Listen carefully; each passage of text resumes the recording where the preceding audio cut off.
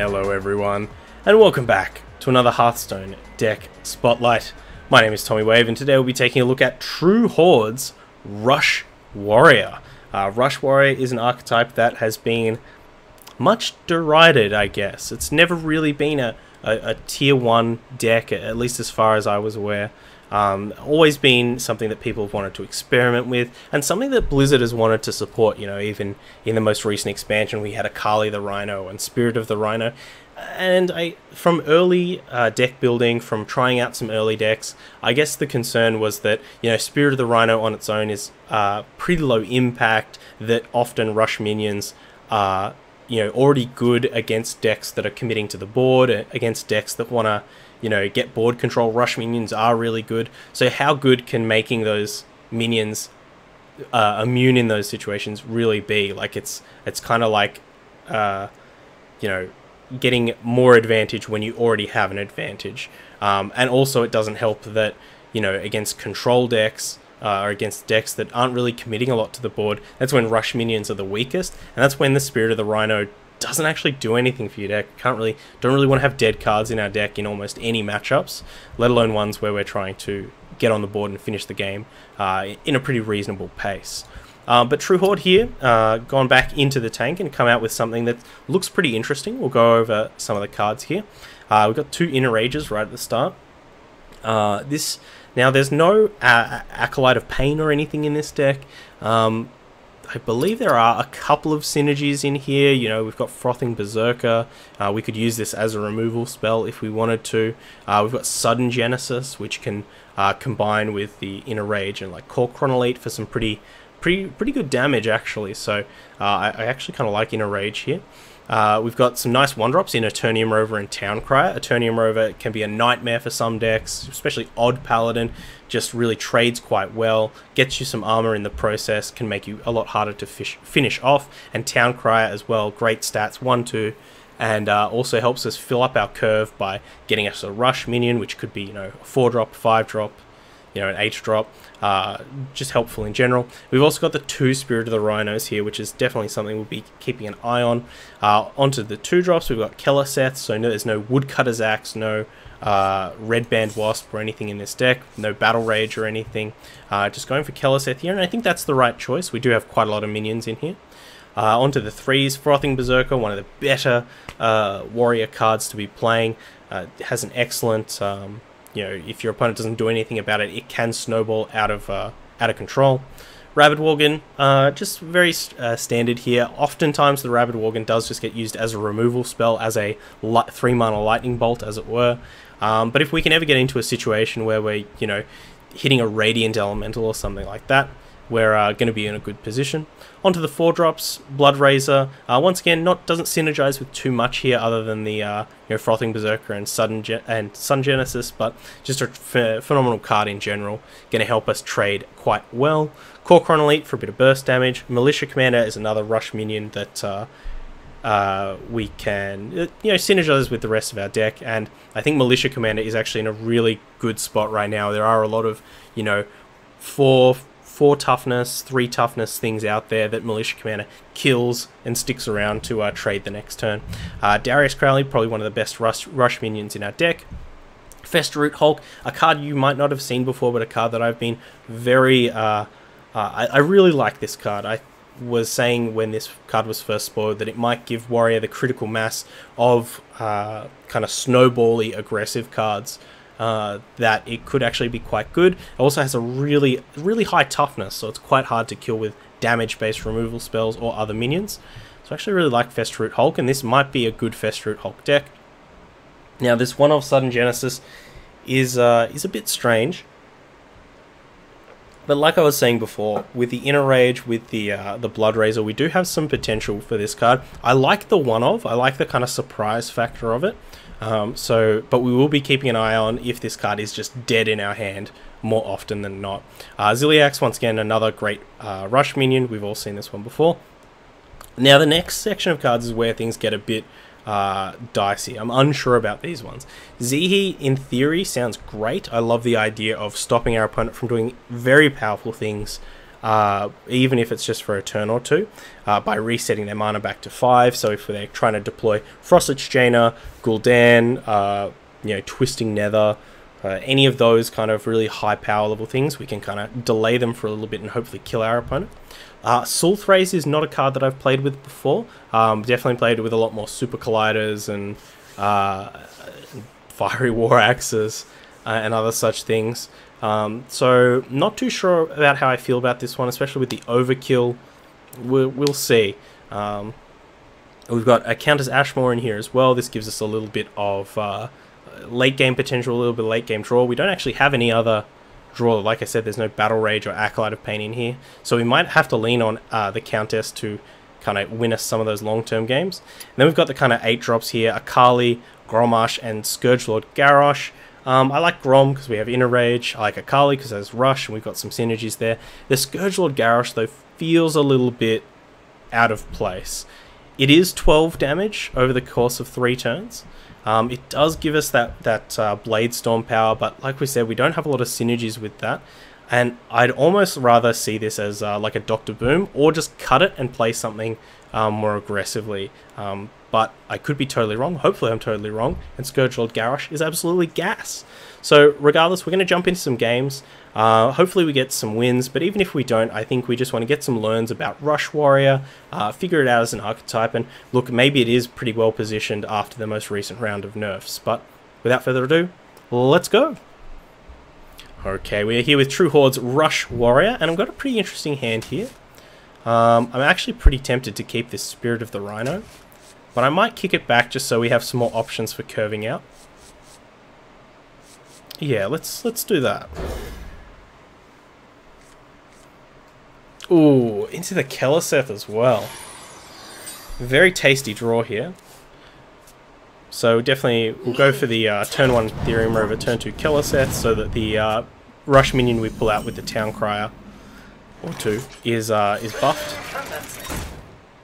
And we won't coin out this Keleseth just so it doesn't get traded into by this Kobold Librarian, just in case it is a uh, an aggressive an aggressive uh, Warlock deck. Well, looks like regardless our... Uh... Ooh, okay. I was going to say regardless our Keleseth will get traded into, but...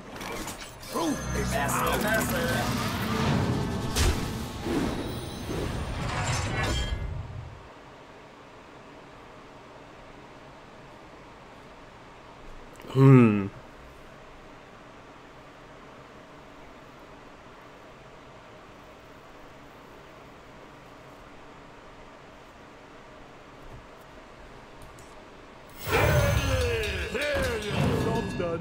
It's a good draw. This, I was a little bit concerned with that coin there. Even though the coin feels good. Oh, Witch's Cauldron. Okay. Our opponent's on some. Uh, opponent's brewing up a spicy number. Not choosing to trade.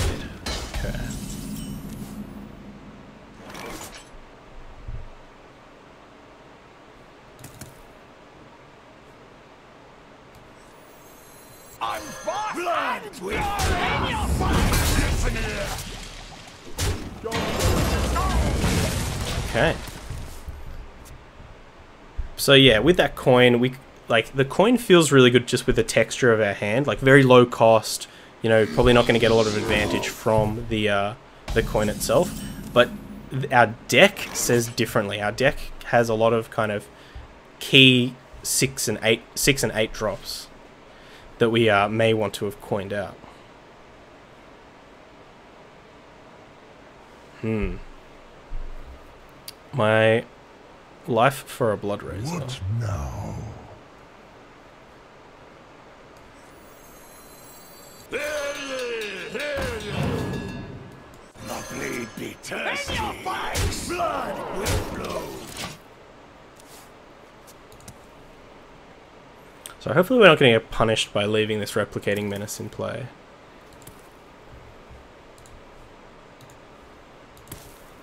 But this looks like some kind of egg egg roll. Maybe they're going to explodinate a trade Grim Rally. That could be a great turn. Unfortunately, they just can't trade with anything good. Go.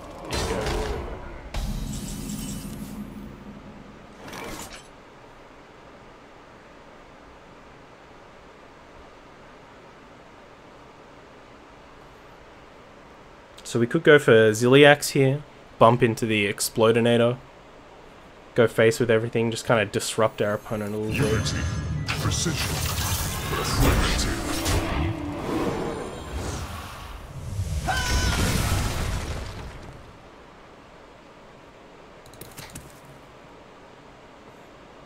I think I'm actually going to trade here. It's, uh... It, we do lose... We don't lose two damage. We only lose one damage because of the Frothing Berserker. But, uh... Just reduces our opponent's In your face! Potential for, like, a big Grim Rally turn or something like that.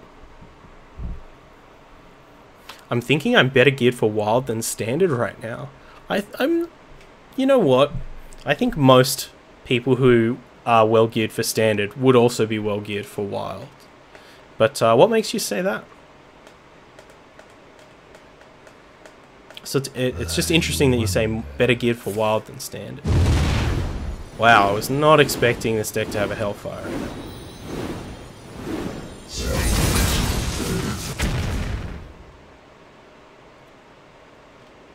You win this time. Got him! Cool. Interesting. Yeah, I don't think I've seen a uh, kind of egg egg warlock deck with Hellfire in it. Or maybe I have, and I'm just uh, misremembering things. But uh, that was an awesome opening opener from us. That uh, kind of shows you how how strong this kind of deck can be against a deck that is you know wants to be on board and where you can get a lot of value out of your rush minions. So GG's, well played. Okay, we are up here against the against a hunter with True Horde's Rush Warrior. Definitely keeping the Keleseth. Send everything else back. Hopefully we can hit an Eternium Rover. Hmm. Town Crier is okay. We would prefer to uh, be able to rip a buffed minion out of the deck, but we're certainly not going to stop curving. Is a hot dog a sandwich? Yeah, sure. Why not? Does the hot dog want to be a sandwich? Meat sandwich with meat buns and bread patties. Oh, I thought you were going to go full meat. Isn't that a, uh, it's like a Ren and Stimpy uh, skit? What do you want on your sandwich, Kowalski? Meat. Listen here. Uh, what bread do you want in your meat sandwich, Kowalski? Meat. Okay, here's your meat on meat sandwich. Egg and lettuce and ham and cheese. Tomato half pack? What's half pack? What does that mean? Like a half a pack of tomatoes? How big is a pack of hmm. tomatoes? Is that how they like roam the Serengeti? Watch the pack of tomatoes as they roam the Serengeti. Quickly. A real sandwich is a taco. I am Mexican. That's fair enough. Ooh. Big aggressive mole boy. Coin what? Coin what?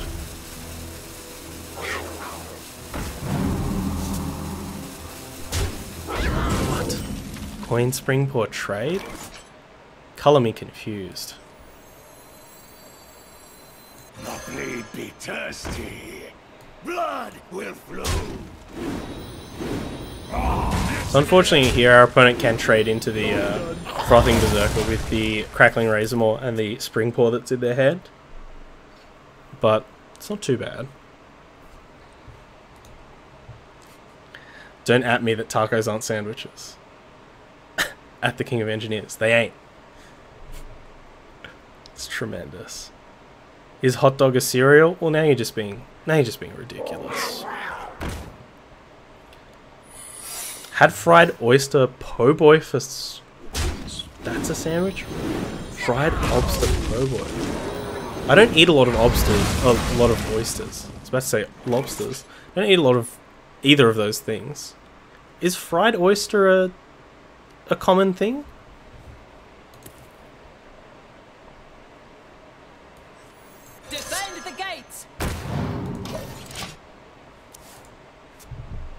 It's a full sandwich worth. But it half one, half... Oh, okay. 7-Eleven does a decent sandwich. I'm not going to lie. I've eaten...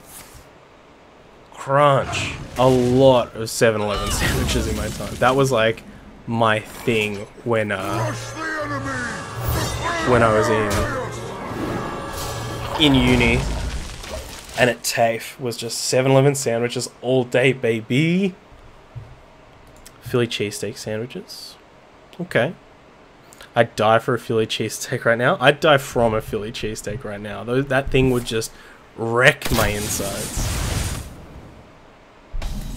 So this isn't freezing. Could be, uh...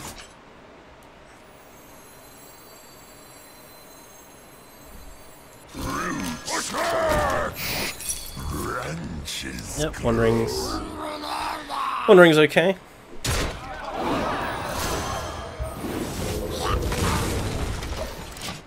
We'll get the Spirit of the Rhino down. I will say, Spirit of the Rhino buffed with uh, Keleseth. It's actually pretty tasty. You know what else is technically a sandwich? A Chinese pork bun. It's also real tasty. Fairly common in season in New Orleans that for fried oysters. Interesting. Is that a regional kind of thing or is that is it an everything kind of thing?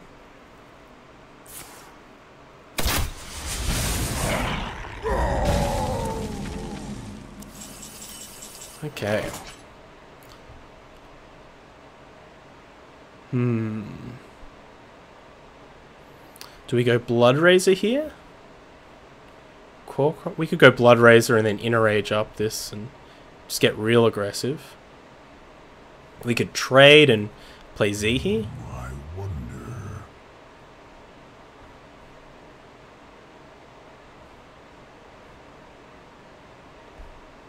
I think we'll go with Z here.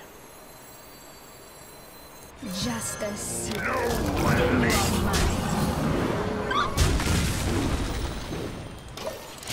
Just uh, get a nice selection of bodies out here. I think that's kind of one of the weaknesses of um, of a lot of mid-range hunter decks is that they just don't have a lot of removal for very big high toughness targets and if they start having to use kill commands on kill command on our minions yeah that's exactly where we want to be Eternium Rover. Your will is mine. Oh, look at this giant lad. In awe at the size of this lad. It's kind of what I was talking about, where, you know, if you... Uh, like, this card can just... Really, uh... Really grow to quite large size. Quite a large size. Interesting. Did they just draw this subject 9 as well? Or did our Z here last turn actually kind of prevent them from doing a thing? Master, master. I think you die, friend. I think this Festeroot Hulk is going to uh, fester all over you. Ah! Got him. I'm in the mood for an egg sandwich now. Damn. I am too. GG's. Well played to our opponent. Okay, up against Mage here. With the Rush Warrior. I think we're actually going to send all of this back. I think those those draws that we've been getting where we have, you know, Town Crier or Eternium Rover into Keleseth have just been really tremendous. Is that greetings? Is greetings happy new It is. I have a suitcase full of Mexican sweets. Mexican sweetbreads. That's cute. I like that. So we're up against the odd mage. And we really just don't have a great hand here. Even if we coin out this uh, Frothing Berserker. Which might actually just be the thing we have to do. Hmm.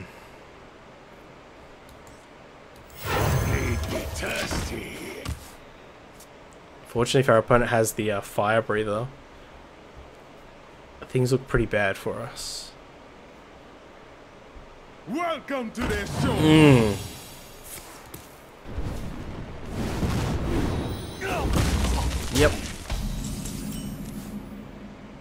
Well, we got a little bit lucky there. Unfortunately, it does just get killed by this hero power. Opponent's going to get so much value off of this, but not this turn.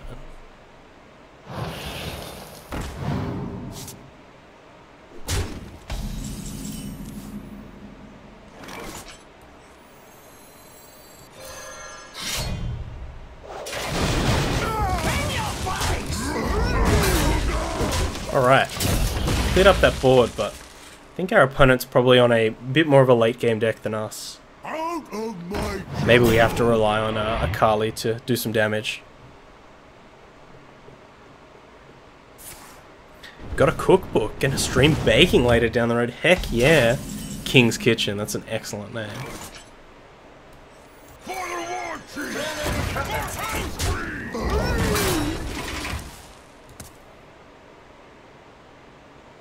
Hmm. Fortunately, our opponent's going first as well, so we can't even try and, like, you know, land an Akali and then uh, Zihi them out of their, um, off of their Jaina.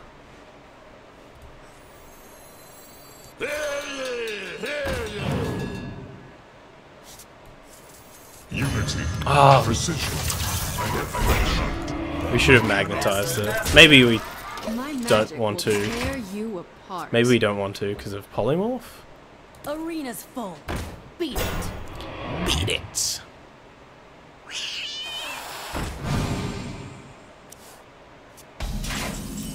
Amazing. Is this the best sudden genesis we're gonna get? Amazing.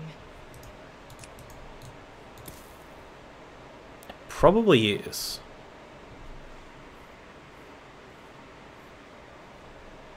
Primitive.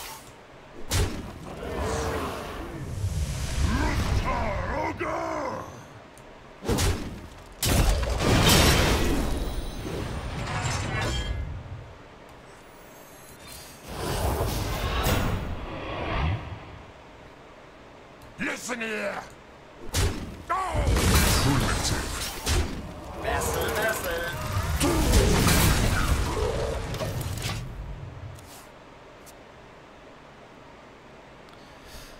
Don't have Kitchen Island. Reality. Kitchen Island? Oh, like a kitchen island. Yeah, okay. Oh my gosh. I don't think uh don't think we kinda long for this world. Let's just get our Kali out here. Give me those big buffs. Yes, this large lad. That's what they call him in WoW lore. Large lad Darius Crowley. Oh.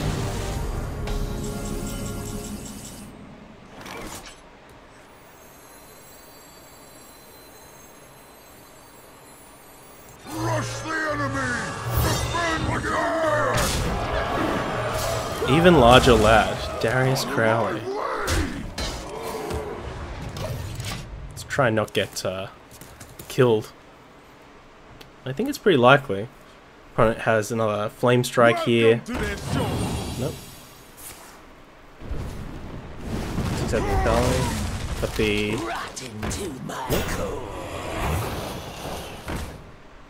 green screen it and use an ironing board. Hi, this is my uh, cooking show where I uh, cook Mexican sweetbread on an ironing board.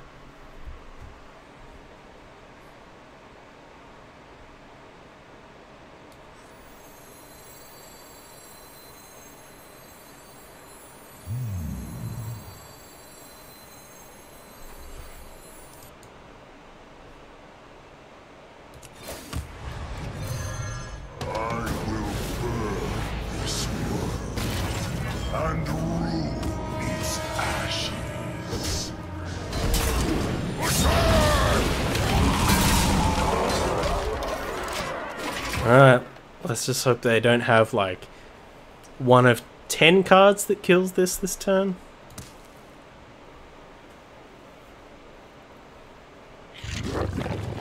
Oh, the corrosive sludge.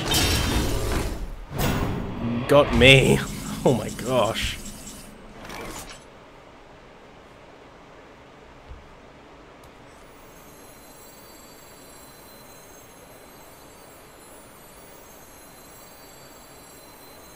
My power over you grows stronger yet.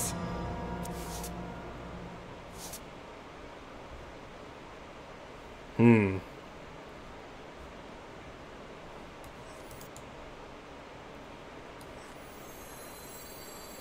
I'm!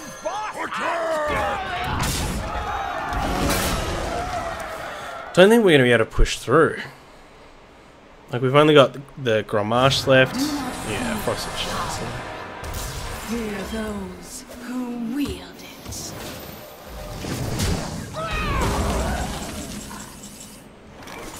Yeah, I don't think it's happening, friends.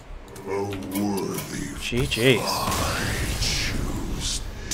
So a bit of an awkward start there, not as good as uh, the past couple of games, but uh, definitely kind of just showing that some of these are these late game cards don't have a super high impact, or, or that once we get if our opponent's playing eight mana things or doing things for eight or nine mana, often it's a lot better than what we can do for eight or nine mana.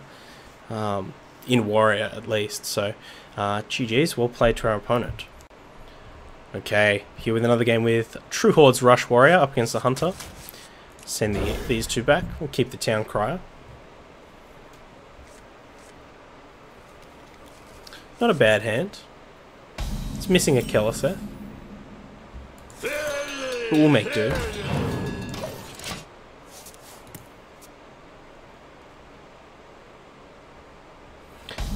But yeah, the uh, the most recent expansion was about a month and a half ago.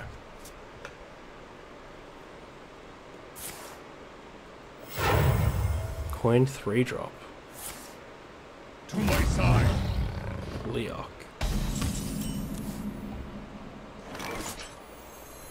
I'm boss! Listen here! Happy to trade trade off the Leokk. I think gets quite dangerous with cards like uh, Unleash the Hounds or Springpaw. Master's calling up here. It's a pretty interesting play as it does just let us for free get a frothing berserker on the board. Now it's on on our opponent to really find an answer to it.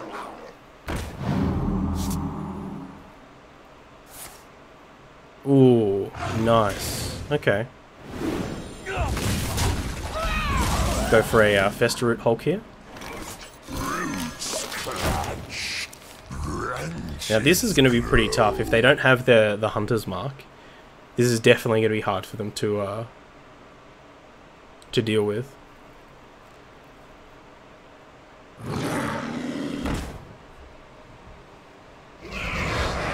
Okay, what's this to be?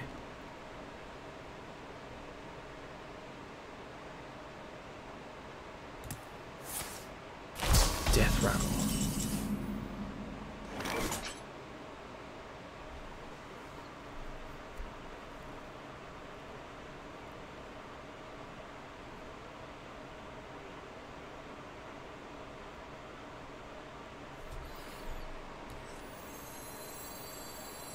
Unity, precision.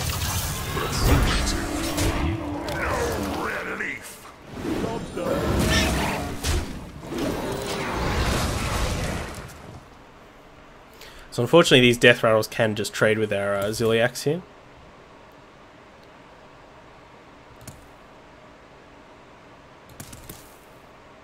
We also could have gone for like Darius and just trade with the uh,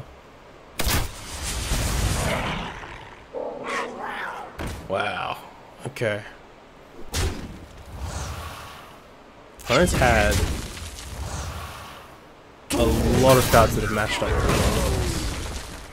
So hopefully this Darius can uh, kind of run away with the game here. Rush the enemy! Defend Hyades! So they've used both flanking strikes, I believe. No, there's the.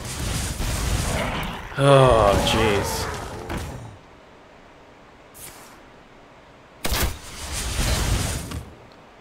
It's proving to be uh, a lot more difficult than expected.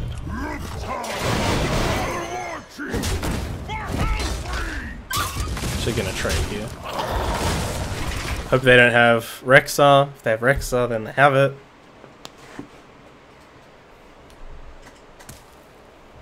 This also maybe sets us up for an interesting uh, sudden genesis turn. Oh my gosh, the other Springpaw. Okay. So Wardruid Loti with Fandral Staghelm, does she do all four transformations? She does. She even has unique artwork, specifically if you have Fandral and you play Loti. It's like a weird giant dino bear tiger thing.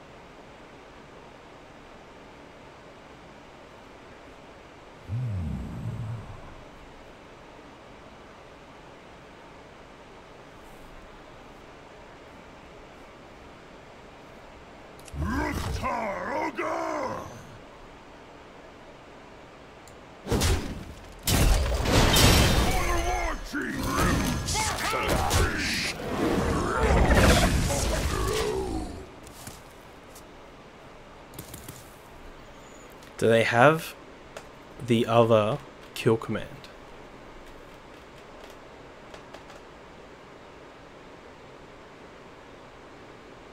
That sounds like a new deck for me. Try and do Wardruid Loti and Fandral Staghelm.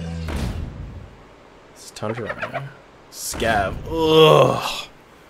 Well, at least the Sakali can take out the, this other Rhino. And Wing Blast. Oh my. Okay.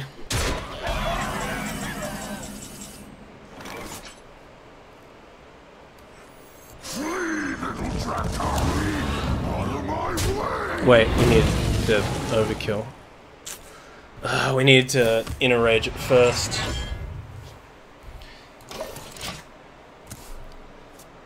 That was bad. That was real bad. They just have another uh, rhino here too. Any any beast? Yeah.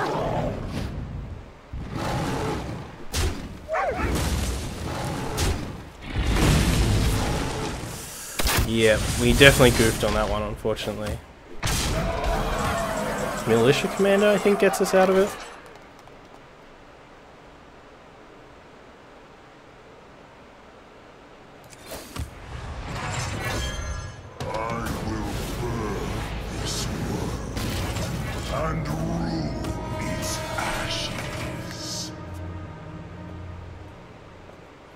I guess we could have also just attacked the Akali into the Scavenging Hyena.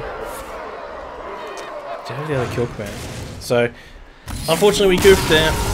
Uh, these things happen. We certainly don't profess to be the best player. Hopefully our opponent enjoys the uh, enjoys the card back if they needed it. But we'll take a look at the deck. I, I think we've... Our opponent did have a lot of cards that matched up very well for this situation. I think that that kind of matchup could very very much go either way depending on who has the the better first couple of turns. Um, but our opponent really did answer back with a lot of things. Flanking Strike is tremendous, and without this deck having a card like, say, uh, Dyn-o-matic, we can't don't really have the same comeback potential to get back into it. We do have to rely on those minions, uh, which can get fairly dicey when our opponent has, you know, Scavenging Hyena combos and things like that. But uh, we can certainly also play better. That's another th lesson to learn. Um, other than that, look, I think my main uh, my main gripes with this deck is just the late game. Um, doesn't exactly feel too powerful. I, this Sul'thraze, I couldn't have imagined a situation where it would have been super useful, especially now with the Hunter Spellstone uh, being nerfed. I think a lot of people are moving away from it. So what I'd actually like to do is I'd like to kind of comb this deck down, maybe cut the Sul'thraze, cut the Grom, and cut the uh, Scourge Lord Garrosh. Maybe we can keep the Grom in here, but cut a couple of those things and try and do some more stuff, uh, particularly in that kind of that three drop slot. Maybe even try and get some uh, some uh, some more sudden genesis uh, kind of synergies going on, stuff like that. Um, yeah, I can't think of think of too much else, but there's something something feels good here. Uh, maybe we could try uh, cutting the Prince and playing something different, but uh, there there are some things to like here. There are some things to uh, uh, that feel a bit awkward, and there's certainly a lot to experiment with within this archetype. Um, I'm certainly looking forward to it going forward, as I believe in the expansion. It only really lose Keleseth and not too much else there's certainly a lot to look forward to with Rush Warrior as an archetype. Uh, regardless, if you are watching on YouTube, of course, all the links are down in the description, including a link over to the Hearthpwn deck article. Please jump over there, give TrueHorde a plus one, give them a, a lovely, thoughtful comment, as I know you will. Uh, my details are down there as well, including a link over to Twitter at Tommy underscore wave is where you can catch me. If you've got a sweet, sweet uh, deck that you want me to check out, big shout out to Cloudy HS as well for the host, 13 viewer host. Hello everyone from Cloudy's stream. Uh, but yeah, until next time, stay safe, stay wavy, eat the rich, and uh, corrupt some blood. Bye. I hope you enjoyed that video check out other ones over here, or come subscribe to the Wave Pool for more excellent times.